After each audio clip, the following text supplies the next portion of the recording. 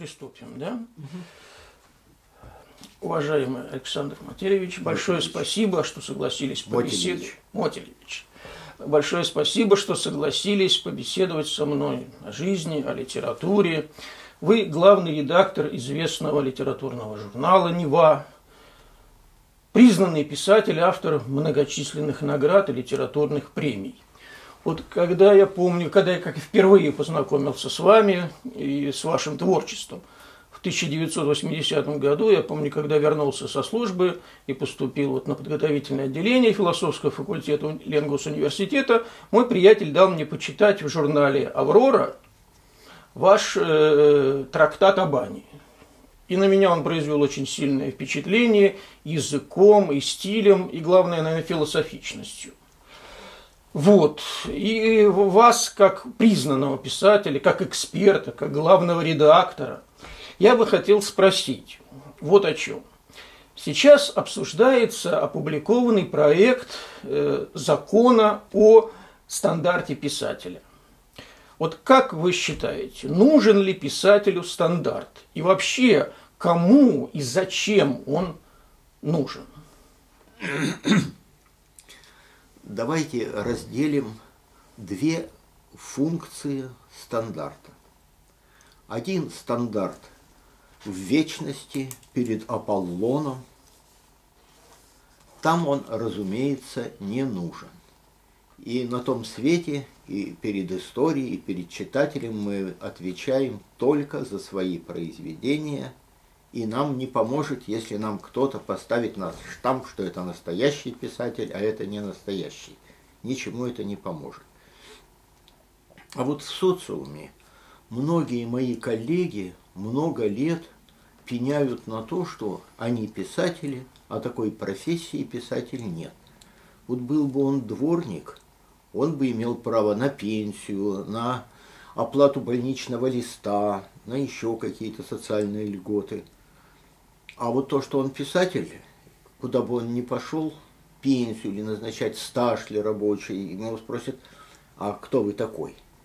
Он, как Бродский, может сказать, я писатель, я поэт. А ему ответят, где написано, что вы поэт?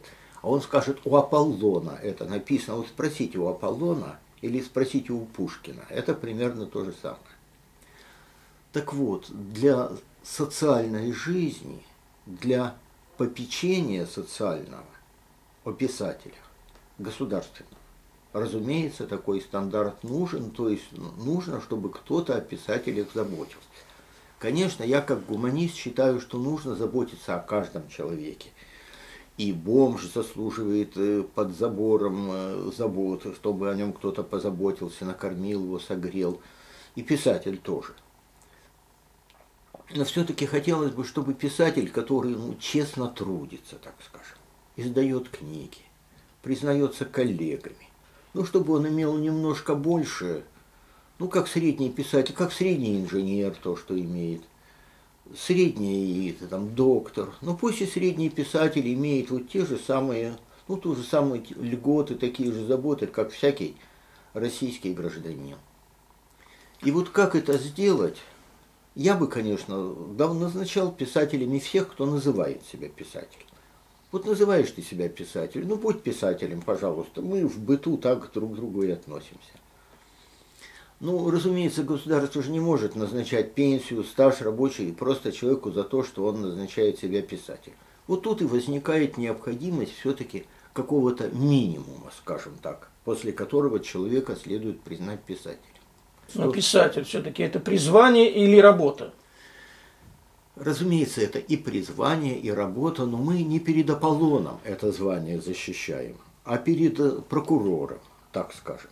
Хорошо. Ну вот есть многие писатели известные, которые э, по профессии имели другую профессию. Например, врач. Чехов был врач, Булгаков был врач, да, и даже у Чехова среди его множества всяких ипостасей надпись на табличке э, на квартире была «Врач». Чехов, только врач. Совершенно так вот, если э, статус э, писатель приобретет формально юридическое значение, то могут ли люди которые пишут книги, философы, э, юристы, ну кто угодно, называть себя писателем. Это будет некорректно, потому что формально юридически они не писатели.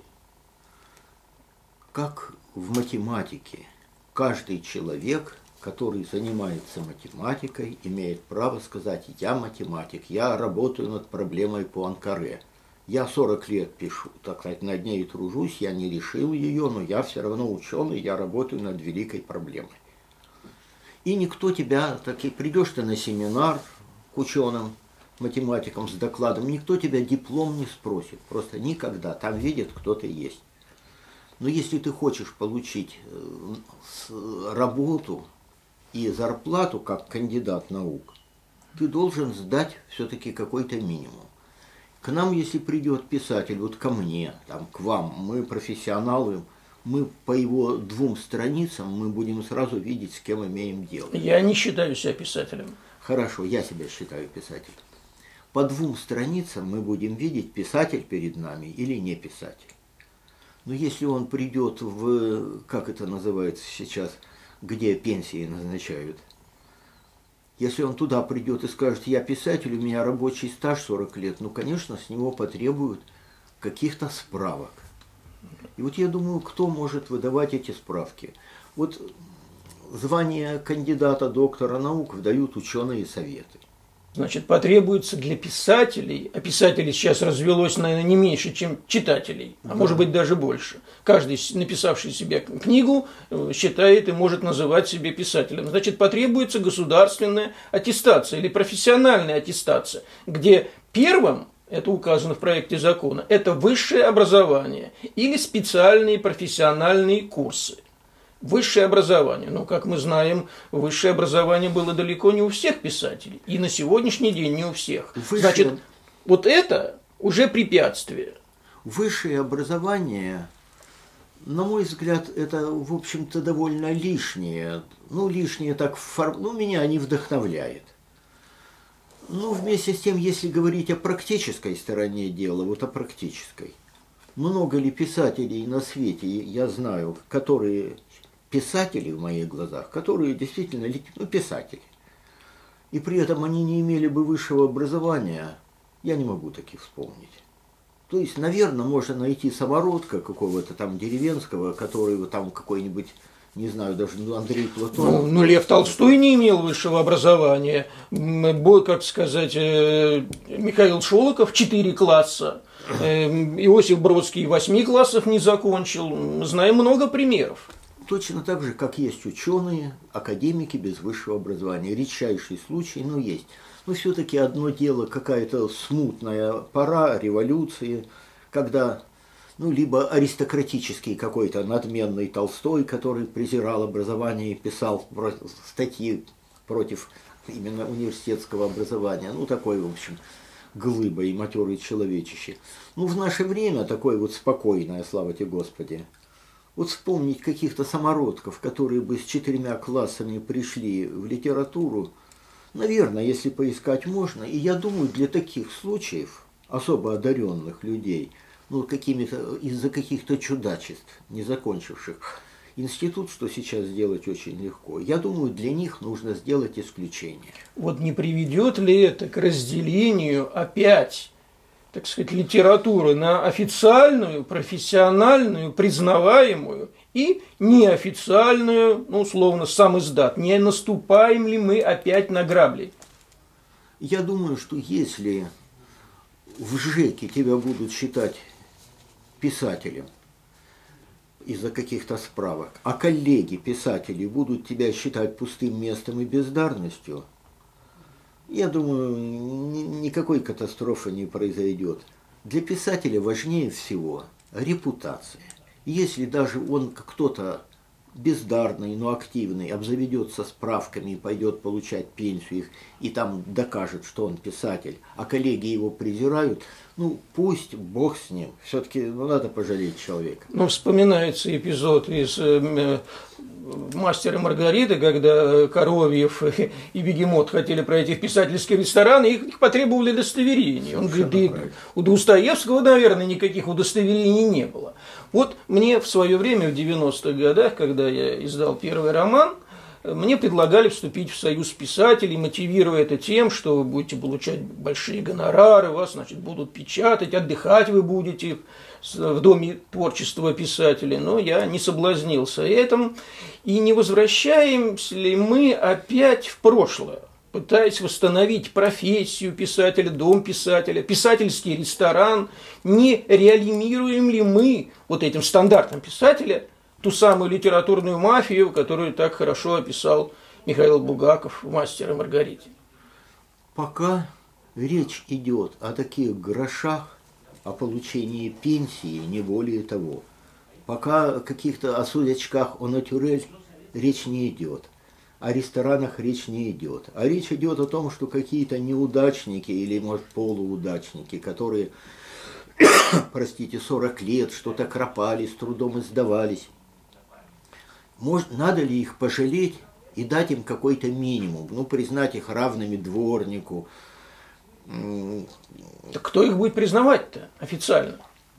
Вот кто признает? Творческие союзы? Какая-то аттестационная комиссия опять? Да, совершенно правильно. Кто признает математика? Ученый совет. Вот у нас есть великий математик Перельман, который взял, так на всех наплевал, решил проблему по Анкаре и прославился на весь свет. И дай ему Бог здоровья. Но все-таки рядовые доценты с кандидатами, которые, ну, не великие ученые, но они хорошие специалисты, они честно трудились, учили студентов, какие-то писали статьи, ну, приличного уровня, которые печатали академические журналы. Но не надо их так уж сказать, что вы не ученые рядом с Ньютоном, с Пуанкаре, какие вы там ученые. Мы на Пуанкаре смотрим, вы, вы никто. Признанному писателю, вообще-то, удостоверение не нужно. Не нужно, безусловно. Удостоверение нужно бездар, бездарем, чтобы доказать, показать, вот видите, я, значит, писатель. И пропустите меня, значит, в писательский ресторан. Вот все-таки, как вы считаете, вот не произойдет ли опять снижение уровня? То есть вот не заполонят ли эти бездари с удостоверением, не вытеслят ли они э, истинные дарования, потому что тот же Перельман, он отказался от миллиона. А эти бездари не откажутся, они пишут за деньги. Я совершенно не, так сказать, не вижу ни малейшей опасности, если вот какие-то ну, бездари слишком резко сказано, средние писатели. Ну вот средние, они пишут, кто-то, что-то он какой-то свой опыт отразил, э, где-то он побывал. Ну, средние писатели, ну, возьмем 19 век, золотой век русской литературы, ну, возьмем какой-нибудь вот журнал «Русское богатство» какой-нибудь.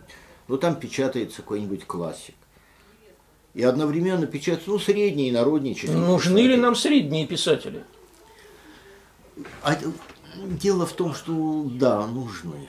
Вот как ну, нужны ли средние математики? Может быть, оставить Ньютона, Лейбница, Пуанкаре и там еще 50 человек, которые, собственно, и сделали всю математику. Да.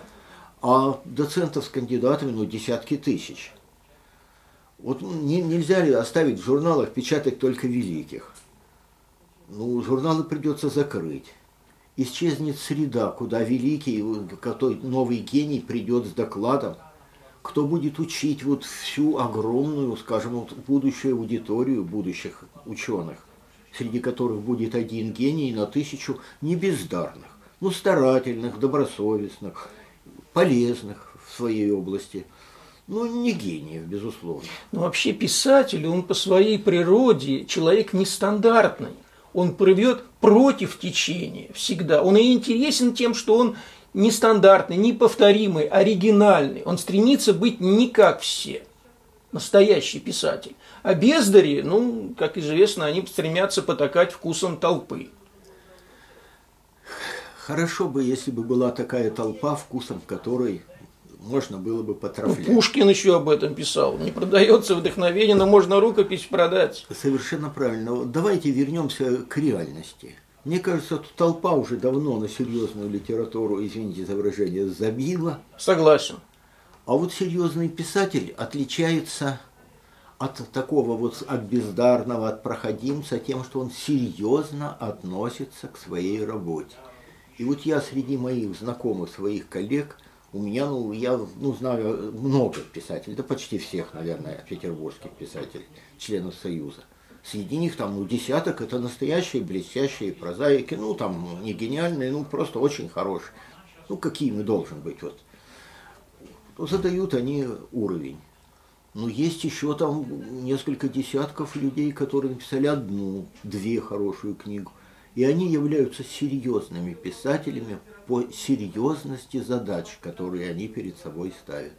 Они вовсе не гонятся за славой, вовсе не гонятся за деньгами. Они годами, десятилетиями ведут очень скромное, почти нищенское существование, веря в свою звезду, в свое призвание, ну, служение. И если он, вот, отдав жизнь этому служению, ну, не достиг высот блеска, но написал несколько интересных книг, он создает среду, в которой в общем, ценится это, хотя бы это ценится. И теперь я могу ли я сказать, что вот в нашем писательском сообществе каким-то образом какие-то проходимцы пролезли наверх, а вот хороших писателей они затоптали и оттеснили. Ничего подобного не происходит. Все хорошие, действительно настоящие писатели признаны, уважаемы, ну и никто их не оттесняет, они издаются хорошо, а вот те, кто средние писатели, хуже издаются, у них издательства хуже, им труднее в журналах публиковаться. Вот все настоящие писатели, которых я знаю, они признаны профессиональным сообществом, признаны такими лучшими культурными издательствами – и никто их не оттеснил. Скорее, ну, уже на них могут жаловаться, что вот он как-то пролез его, вот он печатает все, что хочет, а меня не печатает. Скорее, на них уже жалуются, чем они на кого-то. А как бы вы отнеслись к присуждению вам Нобелевской премии по литературе? Есть такой, не знаю, анекдот или не анекдот, что композитор Богословский – такой был шутник и злые шутки. Устраивал он какому-то своему знакомому драматургу. Однажды уговорил Левитана наговорить на магнитофон. Такую, что голосом Левитана, что ему, вот, допустим, фамилию я не помню, какой-нибудь там что вот за его пьесу какая-то там, ну какая-то там стрепуха на орбите или что-то что ему присуждена Нобелевская премия. Богословский его позвал к себе, там, ну, сидят, выпивают, болтают, а говорит, ну-ка, давай-ка новости послушаем. Включают радио, и там голос Левитана говорит, вот знаете, сегодня в Стокгольме присуждено, тот, конечно, обалдел, но побежал там ящик коньяка купил, веселились. Ну, говорит, значит, уже насладившись, и такая триумфом, говорит этот Богословский, а вот сейчас ну, надо в новости, дай-ка еще раз насладимся это. Ну, дальше включают, и там опять голосом Левитана. Сегодня в Стокгольме присуждена Нобелевская премия, ну, допустим, Сартру, а вот этому, так сказать, хрен с маслом. Ну, разумеется, это настолько невозможно, что я бы подумал, что какой-то Богословский меня разыгрывает. К, к этой Нобелевской премии существует длинный путь нужно много лет быть уже мелькать, что называется. Ну, и Бродский Иосиф не мелькал так, чтобы очень. Ну, как это не мелькал? Он прогремел, его арестовали, потом выпустили, за него вступался Твардовский, за него вступался Сартр. Ну, так сказать, вся... Так ему за геройство или за стихи дали? Он, разумеется, выдающийся поэт. Это не оспаривается. Ну, если бы вот он просто жил такой, вел, ну, как, э, как Кушнер, как, э, ну, кто там у нас есть прекрасный поэт, Чухонцев. У нас есть несколько первоклассных поэтов. Но если бы он вел образ жизни советского поэта, уважался, чтился ценителями, ну, никакого скандала не было, просто о его существовании никто бы не узнал. Просто не узнали бы. И для того, чтобы он и о нем узнали, нужно был скандал, прошуметь. Потом, раз уже все это имя слышали, то начинают то переводы пойдут сразу автоматически. А нормальный поэт, вот такой, ну как Тютчев, вот сидел современный Тютчев, пишет гениальные стихи, их там Фиет их очень ценит высоко, их высоко ценит Толстой, у него очень высокая репутация в профессиональной среде. Ну потом через сто лет уже он в учебники попадает, и ему присуждают уже посмертно через сто лет Нобелевскую премию. Это смехотворно. Пропасть можно через шумиху. Через скандал. Через скандал.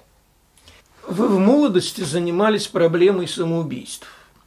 Вот по вашему мнению, почему многие знаменитые писатели на пике своей славы кончали жизнь самоубийством? Ну, например, Маяковский, Хемингуэй, э, так сказать, Джек Лондон, Александр Фадеев. Почему? занимался я в среднем возрасте. В молодости я еще не был таким умным. И это в среднем возрасте, где-то 40 лет. И 40 лет, 40-50 лет – это первый пик, по крайней мере, ну, в то время, когда я занимался, то есть один пик среднего возраста суицидов, а второй уже после где-то там 80. То есть или это уже вот такая старость, когда, ну, понятно, или это средний рассвет сил – это, по-видимому, вот этот возраст, это возраст предварительных итогов, как называл Трифонов. Когда ты уже понял, что ничего нового уже не будет, ты уже достиг своего пика. Если ты мечтал когда-то подвиг совершить, а попрыть вокруг света, ну, в этом возрасте уже видно, кто ты есть. Ты можешь еще там 40 лет работать и написать еще гениальные какие-нибудь труды, но уже нового качества не будет. Ты уже не будешь баскетболистом, если ты не будешь э, красавцем, если ты им не был. Почему же все-таки они? А вот теперь почему? Написал э, Чертишвили очень подробную книгу «Писатели самоубийства». Я ее рецензировал. Книга, прежде всего, ну, вы как социолог меня поймете, плоха тем, что там приведены большие списки писателей, покончивших с собой, но совершенно ничего не говорится о проценте, о доле писателей, покончивших с собой по отношению ко всей популяции. Да, конечно, если по всему миру собрать писателей за сто лет, конечно, список длинный, писателей самоубийц. Но если бы по всему свету он собрал список сантехников, покончивших с собой за это время, или пахарей, или дворников – там были бы, тут счет пошел, был на сотни, а там пошел бы, может быть, и на сотни тысяч, кто их знает. Но просто мы не обращаем внимания, когда покончил с собой дворник, покончил с собой сантехник, покончил с собой... Как э, Зощенко когда-то ну, страдал до всю жизнь, собственно, от депрессии, и в молодости ему казалось, что вот страдают от тоски люди выдающиеся, вот такие, ну там, понятно, он список этот тоже знал – и гордился вот своими страданиями. А потом услышал, что там, как у каких-то знакомых, есть какой-то страдалец, которого каждый месяц из петли вынимают. И он восхитился, думает, каков же его духовный уровень, если вот я такое духотворенное страдаю, он же, наверное, совсем лорд Байрон какой-то. Он постарался познакомить с ним, и это оказалась сущая скотина, которого ничего, кроме жратвы и баб, не интересовало. И он даже возмущенно спросил, да а чего ж ты э, вешаешься-то? А тот сказал, да такая тоска находит, что спасу нет. У тоски экзистенциально есть психологические и физиологические причины. Как нас учат, есть эндогенная депрессия и экзогенная депрессия. Эндогенная каким-то биохимическим процессам происходит. Она может накрыть самого малоодухотворенного человека. А экзогенная депрессия очень сильно зависит от чувствительности человека. От чувствительности. Если ты ранимый, с сильным воображением, то, разумеется, ты, когда еще был мальчишкой, ты увидел птицу дохлую и рыдал сутки. Обидели на твоих глазах кого-то, ты потом помнишь это, 10 лет оно стоит у тебя перед глазами. Писатели – нормальные писатели. Потому что среди писателей в этом Чартишвили перемешивает две разные совершенно группы писателей. Мы-то с вами знаем, что есть писатели, которые пришли в писатель из-за таланта, из-за того, что их ну, желание сказать что-то не о себе, не похвастаться, а вот сказать что-то важное для мира. А есть огромное количество нарциссов, которые туда приходят просто чтобы побахвалиться, хвастаться и обратить на себя внимание. И когда мы на собраниях писателей присутствуем, они различаются разительно. Писатели настоящие помалкивают, нарциссы галдят и, так сказать, так и смотрят, как произвести на себя впечатление. И причины для самоубийств у нарциссов и у настоящих писателей совершенно разные. Так вот, у настоящих писателей, которых вы перечислили, конечно же, они очень впечатлительные, ранимые люди с развитой фантазией. А развитая фантазия позволяет тебе и творить гениальные произведения, и позволяет из мухи делать слона. И мы знаем, что все они действительно были ранимые, склонны из мухи делать слона, преувеличивать. ну, как говорили о Байроне, что невнимательность друга представлялась ему предательством.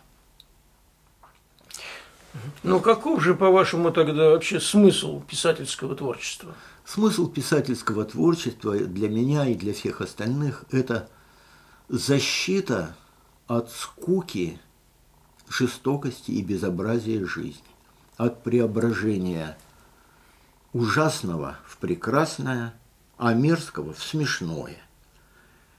И красота – это жемчужина, которая душа укрывает раненое место.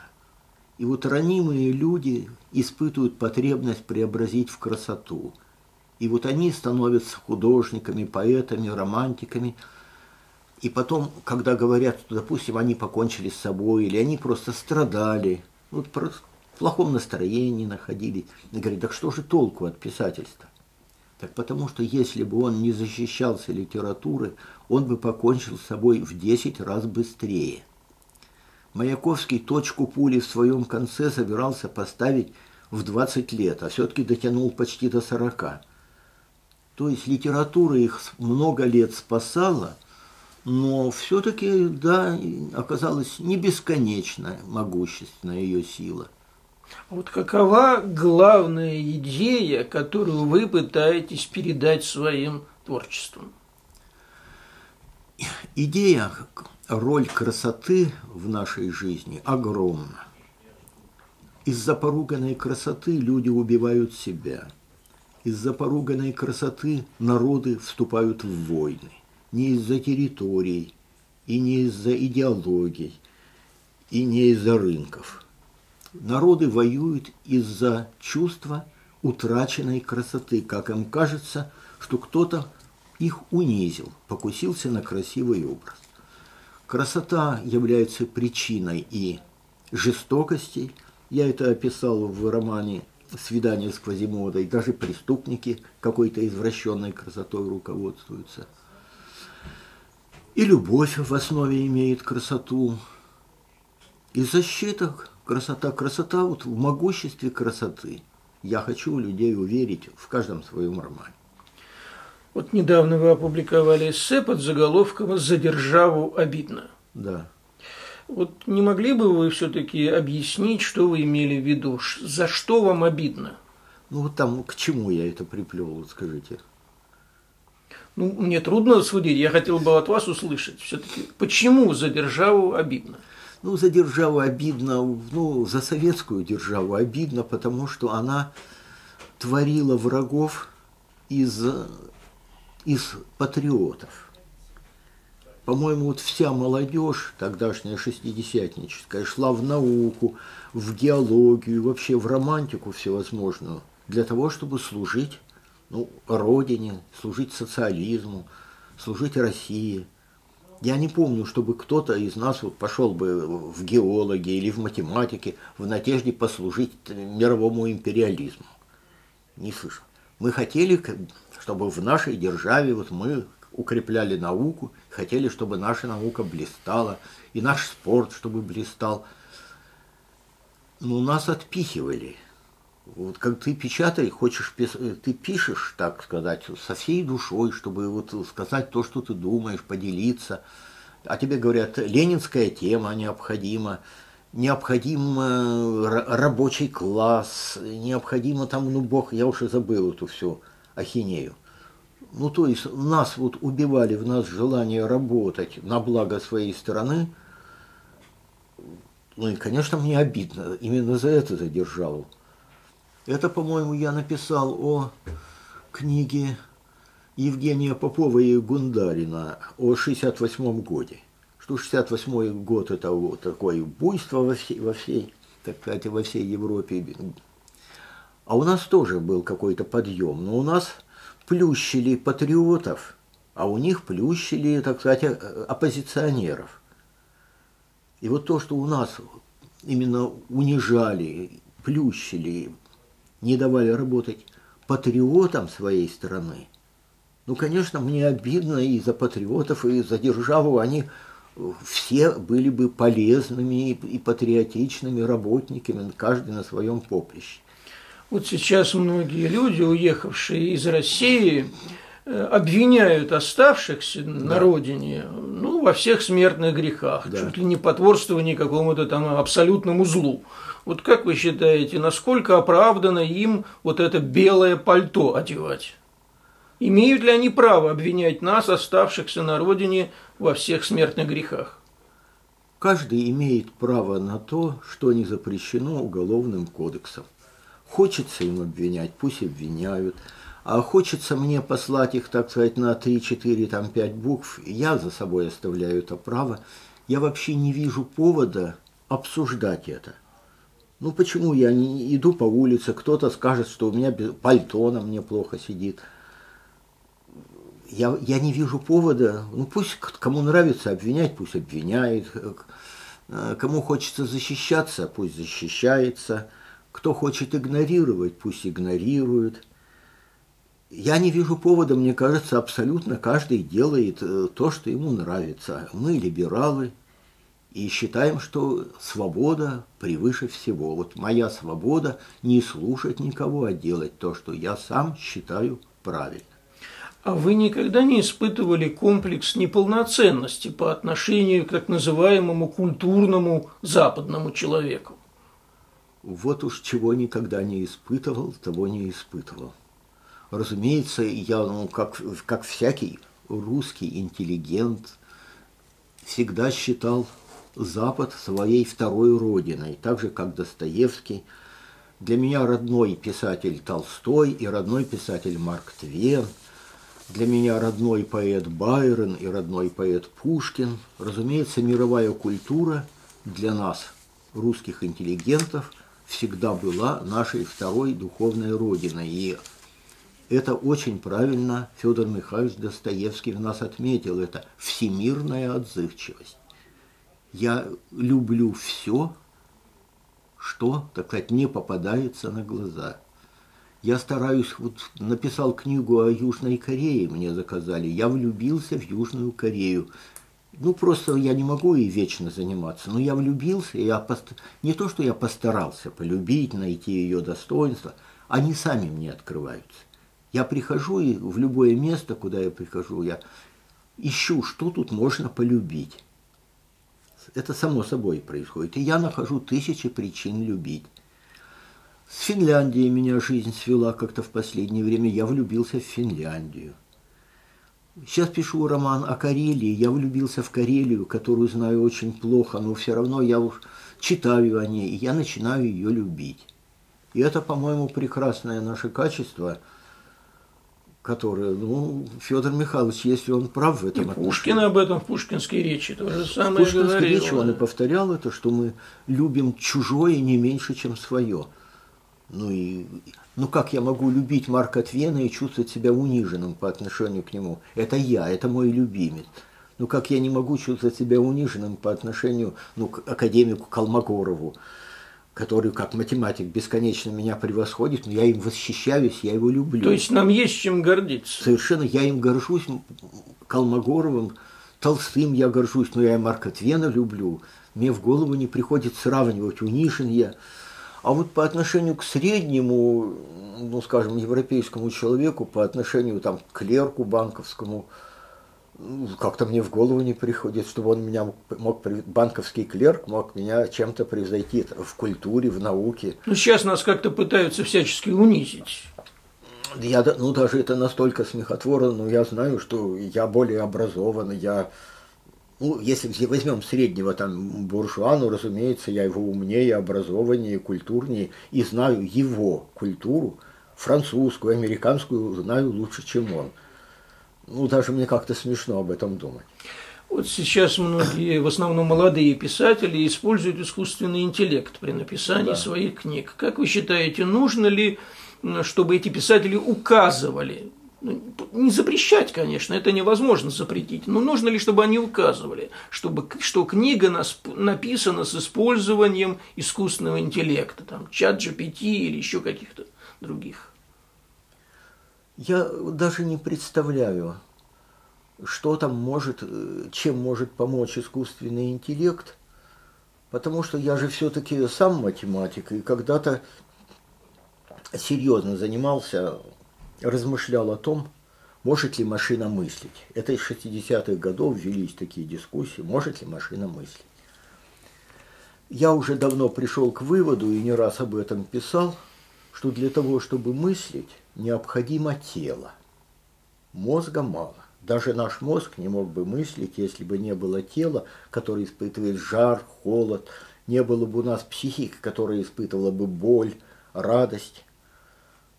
То есть э, душ, тело и психика задают нам задачи. Интеллект просто не знал бы, вот мозг не знал бы, чем ему заняться.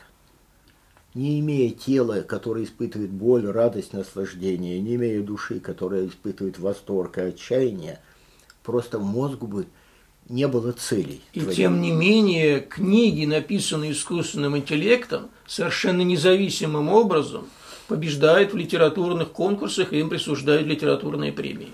То есть качество текста настолько хорошо, он, он способен э, копировать любой стиль любого автора. Отличить сейчас уже практически невозможно.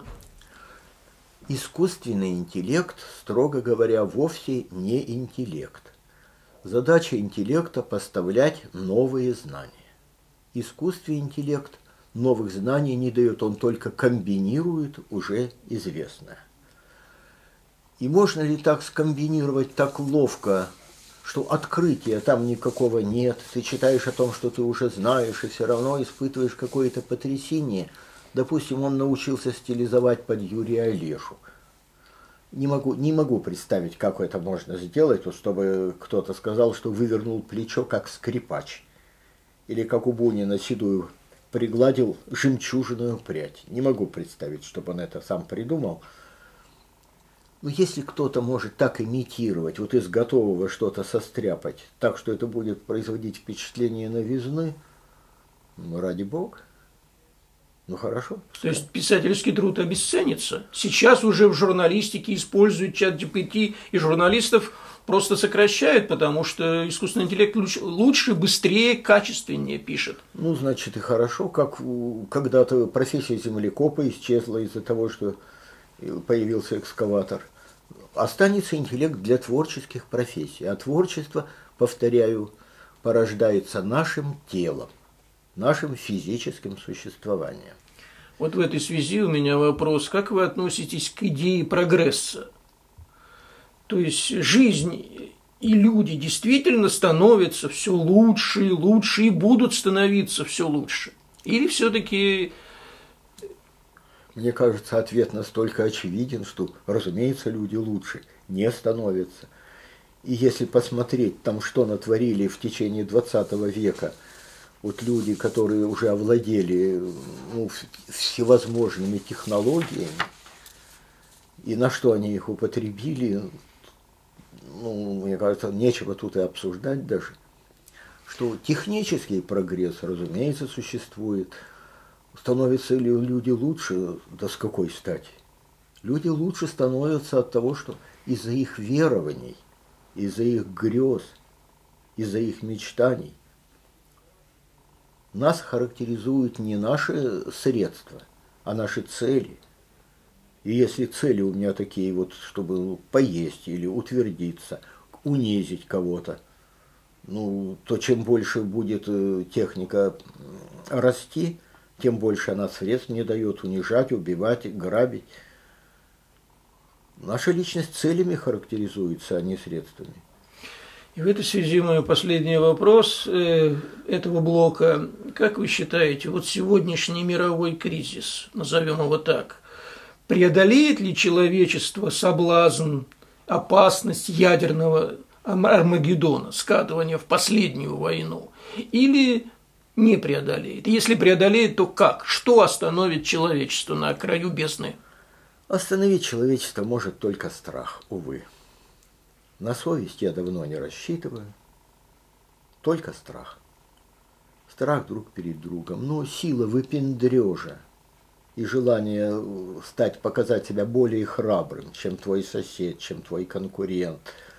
Вот поскольку у политиков принято кричать громче всех, кто громче всех крикнет, кто покажет себя более отчаянным, непримиримым, тот выиграет – то, конечно, можно докричаться до того, что отступать будет уже некуда.